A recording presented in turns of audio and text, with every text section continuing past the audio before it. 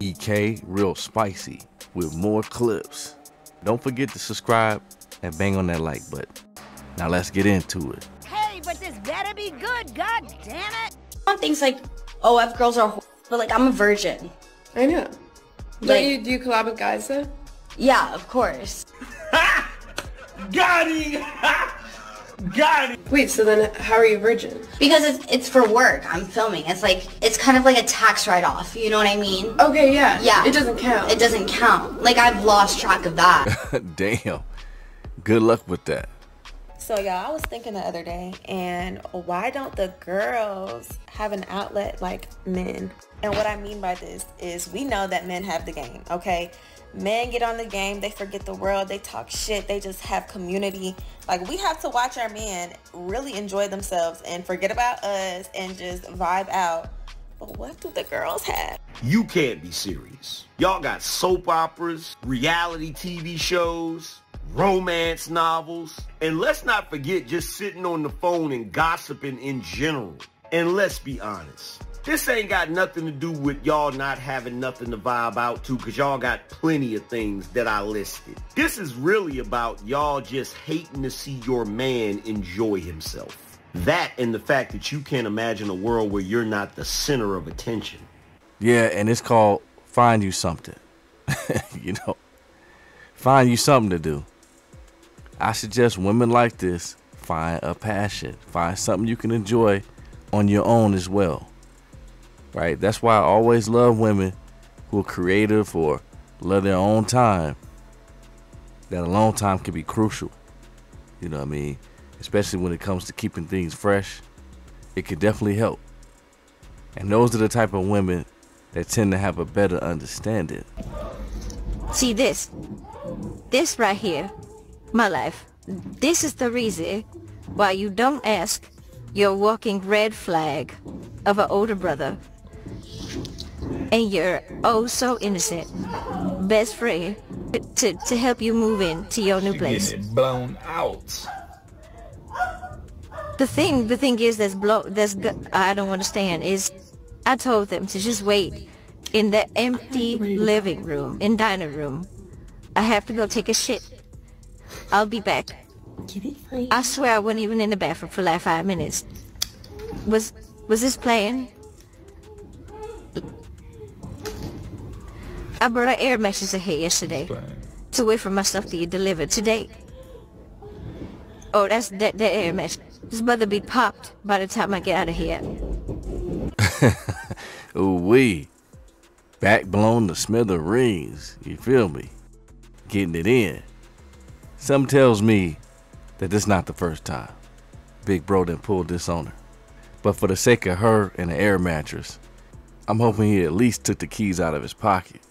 When you say this. someone who's submissive and you're the leader, then you'd be the person under would be what? If I'm the leader, then anyone under me is following my lead. If they're following me, I am their leader. So you're looking for this equalness. It's a very feminist mindset. I'm saying that a man has roles and a woman has roles. Some roles can overlap sometimes because with inflation, both parties are working. But there's no overlapping if someone breaks into the house. Who's getting the door? The man is going to get the door. There's no overlapping if someone walks up to you and slaps your butt. He's handling that. You're not handling that. And if he doesn't handle that, you're breaking up with him. You will lose attraction for him and grow resentment for that man because he's not holding up his end of his duties. Same thing with a woman. If she's not being feminine, fit, fun, and submissive to the man, well, it's like we both working, but come home with a smile still.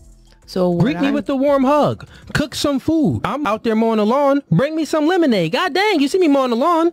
So what I'm saying is there's roles to things. Sometimes it may overlap, but the man is still the leader. The man is the main decision maker. And the reason why is because he's just built that way. He's bigger, taller, stronger, faster. But not only that, he's less neurotic than a woman is. That means that he's not letting the stress and the adversities of the world overwhelm him. I hear But what you you're do. saying. Yeah. You could just see, man. What he said went right through her ears and over her head. Even as he hammers his logic, she just wants so bad to prove her point and be right. That's the main thing she's trying to get out of this.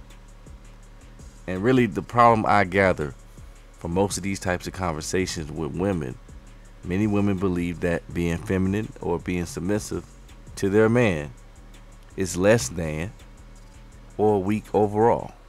And it purely clashes with their ego. The modern woman wants to be the quote unquote equal.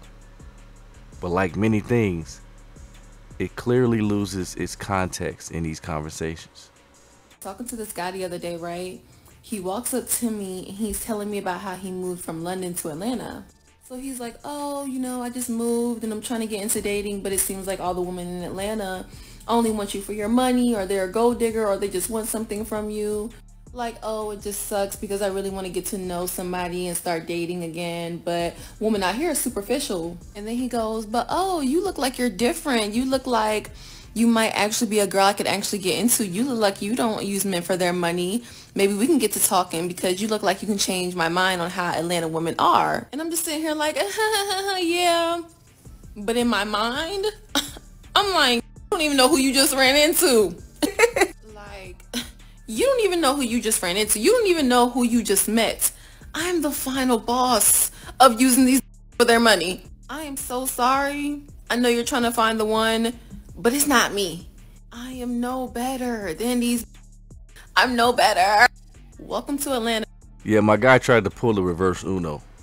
You know what I mean? Reverse psychology on her, man. And if he felt the need to bring that up through the course of the conversation about his past experiences and how women have played him for his money, you might as well just tell her what you're about as a man and let it be known what you'll go for, what you won't go for. Straight no chaser. No need to sugarcoat it or hope she's different.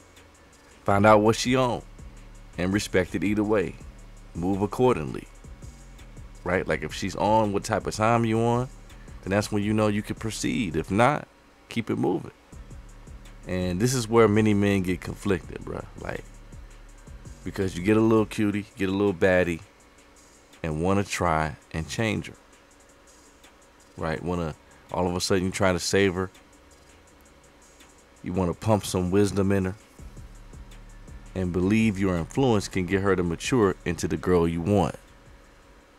But if her disposition and how she treats the men in her life and what she thinks about men, her approach to relationships overall, is most likely going to supersede all of that. And most likely she won't feel an ounce of guilt because she showed you who she was. Gonna need working class men to stop being so insecure. Just because you can't afford a Ferrari doesn't mean you're broke. When we talk about broke men, nobody's talking about you guys. Let me help you understand what a broke man is. If you are sleeping on your mother's couch and you're not working to be anything, you are a broke man. If you let a woman take care of everything and you provide absolutely nothing, you are a broke man. If you wake up in the morning, have no plans on how to get you some money, but you make plans for a smoke session with your friends, you are a broke man. You know, I'm gonna say I agree with her overall. Like I see what she's talking about. But I will say, most guys aren't really insecure about this. It's just more annoyance than anything. Like when you hear many women talk about broke men, it's usually because they make under six figures or guys who don't travel, spend a ton of money on material things. It might be the type of car they drive. But of course, a grown adult, right? You got to get up, you got to get out, get it how you know how. Nobody really want to be around a liability, no matter what type of team, group, gathering, friends, lovers. Nobody want to be around dead weight. Like, like you can't be on the team, training, practicing, doing all that what's needed to be done, getting your shot in order. You know what I'm saying? Keeping your passes crispy, running up and down the floor, got your conditioning right. And then when you in a position to make the shot or throw the assist, your teammates not ready. Your teammates not hustling. Your teammates not playing defense or otherwise playing a part. Right? Can't even guard their man. Not paying attention. Oh yeah, you want them off the team. ASAP. Off the court. So yeah, that apply to everything. I think for a lot of men, you would tell your daughters to be with a guy who's worth something, who's worth a damn, who gives a good amount of effort, But like I said, I think with a lot of men, when they complain about women talking about broke this and broke that, usually those are women that are broke themselves. That's really what it comes down to. But yes, sir, yes, sir. It's about that time. Y'all know what to do. Let me know what y'all think. Hit me in them comments. I appreciate you guys for watching and listening. Go ahead and like, share, subscribe. Definitely will really help us out. This is EK, Reel Spicy, signing out. And I'm going to check y'all in the next video. And like that, be easy. Gone.